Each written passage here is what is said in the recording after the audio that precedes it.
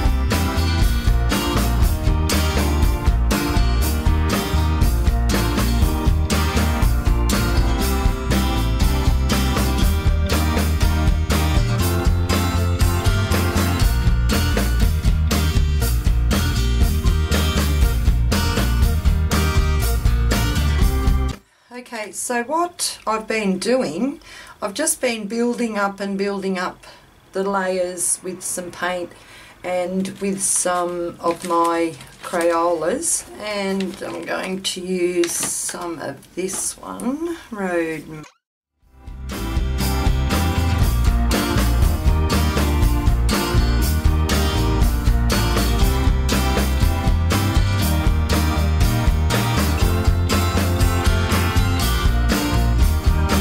stencil I'm using is from Melinda at Scrapbooking and Craft and I'll leave Melinda's um, details down below.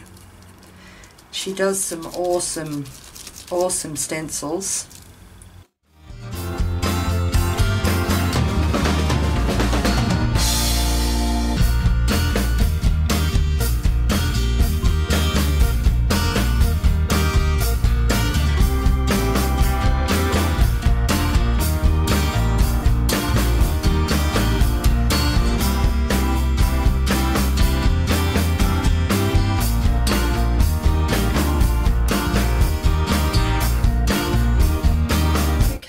So I'm going to take this up off the table now.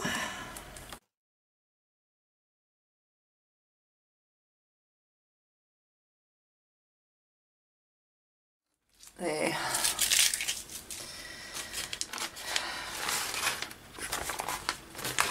And I'm liking that, that looks pretty cool. Um,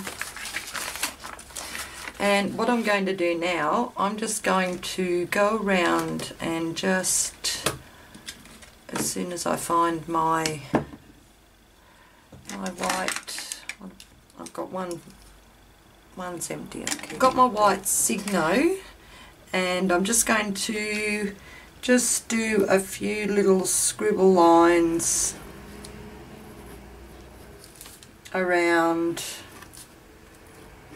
the petals on that flower.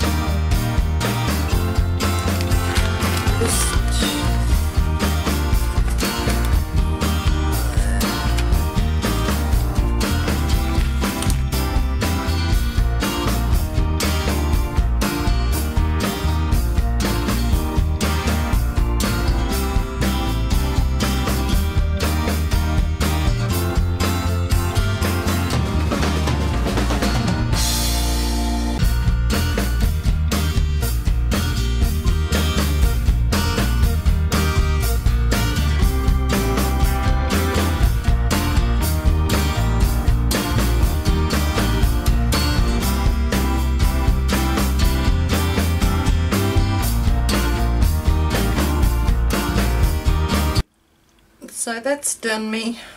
Got splatters all over me, all up my arm. Oh, it's one of them days. Okay. But I like that. I'm not going to do much more to it. I'm just going to let it dry. And then I'm going to rip it up for my tin. okay, so I think that turned out pretty cool. I can work with that. It's a lot better than having all those big black grungy lines on it from the texture, from the markings on the texture. That looks pretty cool, I like it. Okay, so I suppose in the next video I will show you decorating my my new paint tin. Well, it's not really new, but it's going to be nicely decorated tin so I can store some of my paint brushes in. Okay, you all have a good day. Bye-bye.